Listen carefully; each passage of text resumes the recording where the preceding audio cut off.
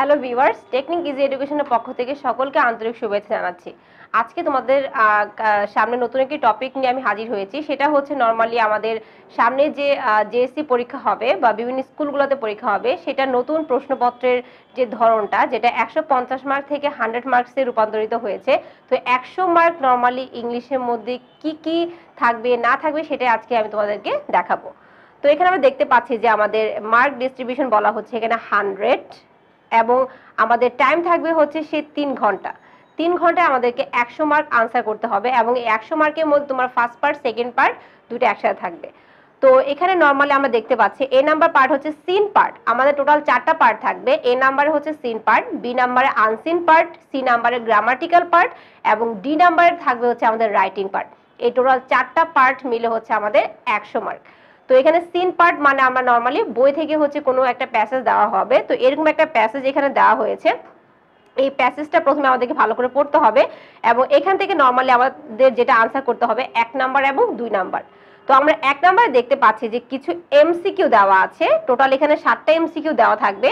প্রত্যেকটা এক করে মার্ক সাতটা মার্ক আমাদের এখানে এমসিকিউ এবং এমসিকিউর যে উত্তরগুলো, সেগুলো তোমরা প্যাসেজ থেকে পাবে। তো এরকম করে টোটাল সাতটা এমসিকিউ দেওয়া থাকবে যে অ্যাকুরেট যে উত্তরটা হবে সেই উত্তরটাই তোমরা খাতার মধ্যে লিখবে। এরকম করে টোটাল সাতটা এমসিকিউ সাতটা উত্তর তোমরা খাতার মধ্যে লিখে ফেলবে। তো এখন আমরা দেখব তিন নম্বরের মধ্যে কি আছে। তিন নম্বরের মধ্যে আমরা দেখতেই পাচ্ছি যে একটা প্যাসেজ টাইপের একটা গ্যাপ দেওয়া আছে। এই গ্যাপটা হচ্ছে তোমার নর্মালি আমাদের যে মেইন বইটা রয়েছে ফটোডে বই রয়েছে, সেখান থেকে হয়তো কোনো একটা প্যাসেজ থেকে তোমার পাঁচ লাইনের বা পাঁচটা গ্যাপ হবে, এরকম ধরনের কোনো প্যাসেজ তুলে দিবে। তো এখানে আমরা দেখতে পাচ্ছি রিভার জিপসির যে প্যাসেজটা রয়েছে, যেটা আমাদের ইউনিট সেভেনের মধ্যে রয়েছে। তো এরকম এরকম ইউনিট সেভেন বা যে কোনো একটা ইউনিট থেকে তোমার এরকম ধরনের প্যাসেজ তুলে দিবে গ্যাপ আকারে। তো এই জন্য আমাদের যে সিন প্যাসেজ যেগুলো রয়েছে, সেগুলো ভালো করে আমাদের পড়তে হবে। এবং এখানে টোটাল পাঁচটা গ্যাপ থাকবে, যার মার্ক হচ্ছে পাঁচ। এটাকে বলা হয়ে থাকে উইদাউট ক্লু যেখানে কোনো ক্লু দেওয়া থাকবে না। নিজের মতো করে ওয়ার্ড বসিয়ে এবং একটা গ্যাপের মধ্যে একটা ওয়ার্ডই তোমাদেরকে ইউজ করতে হবে। একাধিক ওয়ার্ড ইউজ করা যাবে না। এরকম ওয়ার্ড বসে আমাদের নর্মালি পাঁচটা গ্যাপ ফিল করতে হবে। তো এই ছিল আমাদের সিন পার্ট থেকে। এক নং, দুই নং এবং তিন নং। আশা করি এই তিনটা নং তোমরা বুঝতে পেরেছ যে কি কি থাকবে।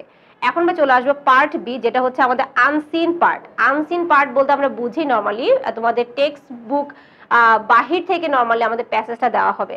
তো যখন হচ্ছে আনসিন পার্টে কোনো প্যাসেজ দেওয়া থাকবে, সেখান থেকে আনসিন পার্টের প্যাসেজ থেকে আমাদের চার নাম্বার এবং পাঁচ নাম্বারটা আনসার করতে হবে। যখন আনসিন পার্টে কোনো প্যাসেজ দেওয়া থাকবে ফার্স্ট টু লাস্ট প্যাসেজটাকে ভালো করে পড়তে হবে, যাতে করে তোমার চার নাম্বার এবং পাঁচ নাম্বার যখন আমরা অ্যান্সারিং করব ইজিলি ভাবে আমরা সেই জিনিসগুলোতে খুঁজে পেতে পারি। তো এরকম আমাদের প্যাসেজটা ফার্স্ট টু লাস্ট পড়তে হবে এবং এখান থেকে আমাদের চার নাম্বার যেটা হচ্ছে, সেটা হচ্ছে আমাদের একটা টেবিল দেওয়া আছে, যেটাকে আমরা বলে থাকি ইনফরমেশন ট্রান্সফার যেটা তোমরা অনেকেই হয়তো করেছ। তো এই ইনফরমেশন ট্রান্সফার টোটাল পাঁচটা দেওয়া থাকবে। পাঁচটা গ্যাপ তোমাদের ফিল করতে হবে। পাঁচটা ইনফরমেশন তোমাদেরকে ফিল করতে হবে। প্রত্যেকটা মার্ক এক করে পাঁচ মার্ক তো এখানে দেখো কন্টিনেন্ট অথবা কান্ট্রি দেওয়া আছে ফার্স্ট স্টেপে সেকেন্ড স্টেপে পপুলেশন দেওয়া আছে। থার্ড স্টেপে পার্সেন্ট অফ ওয়ার্ল্ড পপুলেশন জনসংখ্যার যে পার্সেন্টেজটা রয়েছে বিশের মধ্যে, সেটা আমাদের লিখতে হবে। তো এক নাম্বার আমাদের দেওয়া আছে থার্ড নাম্বার পার্ট মানে পার্সেন্ট অফ ওয়ার্ল্ড পপুলেশন তো সেখানে আমাদের কতটুকু পার্সেন্ট রয়েছে জনসংখ্যার, সেটা আমাদের এক নাম্বারে ফিল করতে হবে। ঠিক এরকম ভাবে যে- যে নাম্বার পার্টের মধ্যে যে নাম্বারিংটা থাকে যেমন দুই নাম্বারটা আছে পপুলেশনের মধ্যে, তার মানে জনসংখ্যা এখানে উল্লেখ করতে হবে।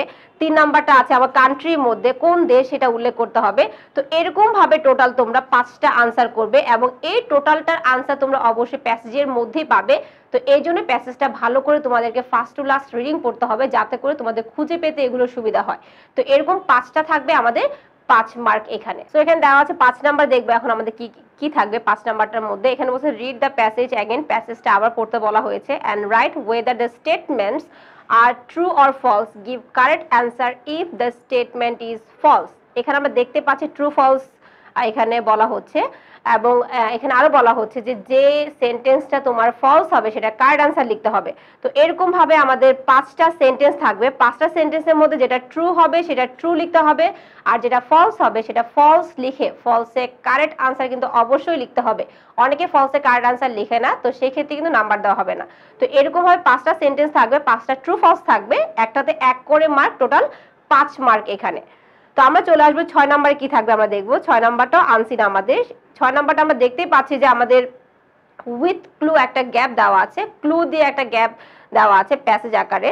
তো এরকম টোটাল দেওয়া থাকবে। তোমার এখানে বলা হচ্ছে রিড দ্য টেক্সট বিলো যে প্যাসেজটা এখানে দেওয়া আছে গ্যাপ আকারে, সেটাকে পড়তে বলা হচ্ছে and fill in the gaps using clues from the boxes এখানে বক্সের মধ্যে যে ক্লুগুলো আছে, সেগুলা দিয়ে নর্মালি তোমার এই গ্যাপগুলো ফিল আপ করতে হবে। There are more words than necessary এবং এখানে বলা হচ্ছে there are more words than necessary তোমার নর্মালি প্রয়োজনীয় থেকে বেশি ওয়ার্ড এখানে উল্লেখ করা আছে। নর্মালি এখানে আমাদের দশটা গ্যাপ থাকবে। প্রত্যেকটা হাফ করে মার্ক এবং দশটা গ্যাপের জন্য হচ্ছে আমাদের পাঁচ মার্ক তো এখানে একটা গ্যাপের জন্য হাফ করে মার্ক থাকবে। তো এখানে আমরা দেখতে পাচ্ছি দশটা গ্যাপ কিন্তু আমাদের ক্লু দেওয়া থাকবে হচ্ছে বারোটা ক্লু তার মানে কি? যে কোনো দুইটা ক্লু আমাদের বাদ যাবে। তো এরকম করে তোমাদের হচ্ছে এ থেকে যে পর্যন্ত অ্যাপ্রোপ্রিয়েট ওয়ার্ড একটা গ্যাপের জন্য তোমরা একটা ওয়ার্ডই এই ক্লু থেকে ইউজ করতে পারবে। একের অধিক তোমরা ইউজ করতে পারবে না। মানে একটা ক্লু ডাবল ইউজ করা যাবে না। তো এরকম ভাবে তোমরা হচ্ছে নর্মালি এ থেকে যে পর্যন্ত অ্যাপ্রোপ্রিয়েট ওয়ার্ডগুলো নিয়ে এই দশটা গ্যাপ তোমরা ফিল আপ করবে। নেক্সট আমরা চলে আসব সাত নাম্বার সাত নাম্বারে বলা হচ্ছে যে এখানে আরও একটা গ্যাপ দেখতে পাচ্ছি প্যাসেজ আকারে গ্যাপ দেওয়া আছে এবং এটা হচ্ছে উইদাউট ক্লু এখানে কোনো ক্লু দেওয়া থাকবে না এবং এখানে নর্মালি যে ওয়ার্ডটা বসবে অ্যাপ্রোপ্রিয়েট যে ওয়ার্ডটা সেটা তোমাকে নিজ মানে নিজে বুঝে নর্মালি এই ওয়ার্ডটা বসায় এই গ্যাপটা ফিল আপ করতে হবে। তো এখানে দেওয়া হচ্ছে রিড দ্য টেক্সট বিলো আবার সেই প্যাসেজটা পড়ার কথা বলা হচ্ছে। And fill in the gaps with words that are appropriate fill in the gaps with words that are appropriate যে ওয়ার্ডটা বসবে, এরকম অ্যাপ্রোপ্রিয়েট ওয়ার্ড বসিয়ে এখানে গ্যাপটা ফিল আপ করতে হবে।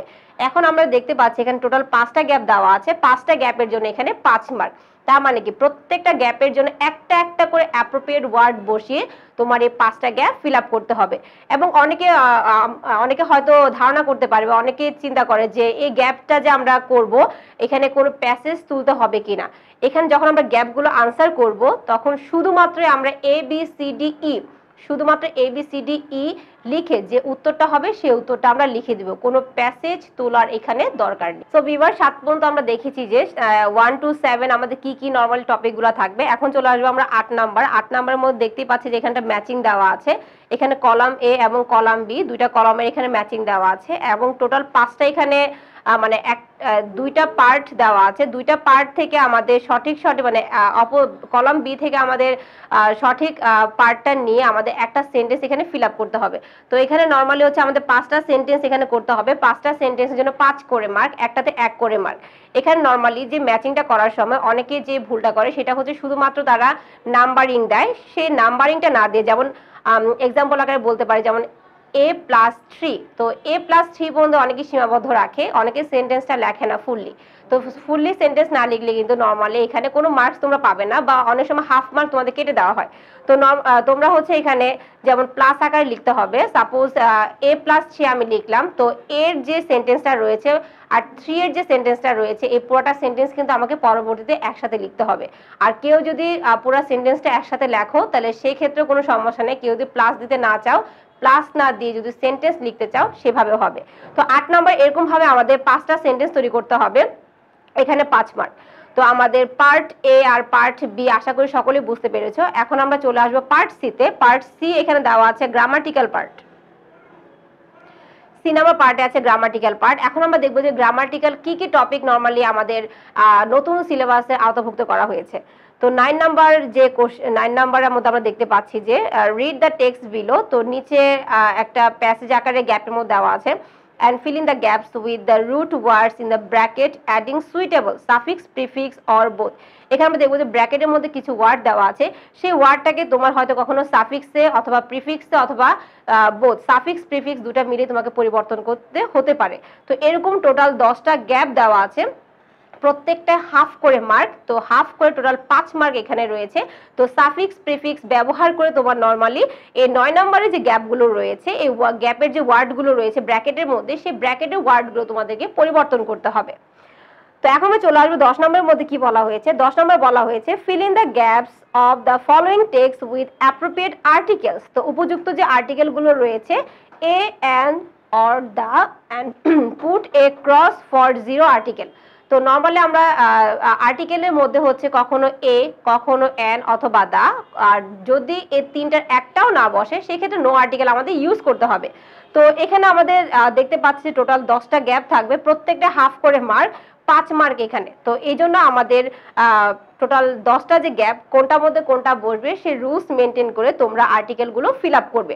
আর যেখানে এ অ্যান্ড দা কোনটাই বসবে না, সেখানে আমরা নো আর্টিকেল ইউজ করব। তো দশ নম্বর থাকবে হচ্ছে আমাদের আর্টিকেল পার্ট দশটা গ্যাপ যার মার্ক হচ্ছে ফাইভ এখন আমরা এগারো নাম্বার দেখব যে এগারো নাম্বার নর্মালি আমাদের কি আনসার করতে হবে।